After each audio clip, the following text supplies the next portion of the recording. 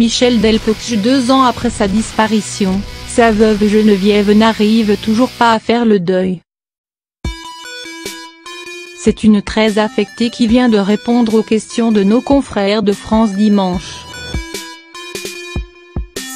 Avec son livre, Quand j'étais chanteur, la veuve de l'artiste propose aux fans de feuilleter les plus grands chapitres de la vie de l'interprète du Loir-et-Cher.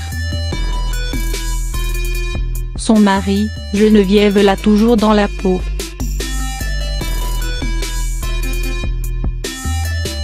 Ce n'est pas la solitude qui vous meurtrit, mais l'absence, déclare.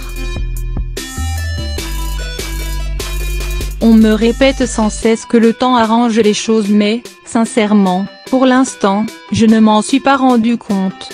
Pire, Geneviève pense plus sombrer qu'autre chose. On n'efface pas comme ça 33 ans de vie commune auprès d'un personnage aussi peu banal, ajoute-t-elle.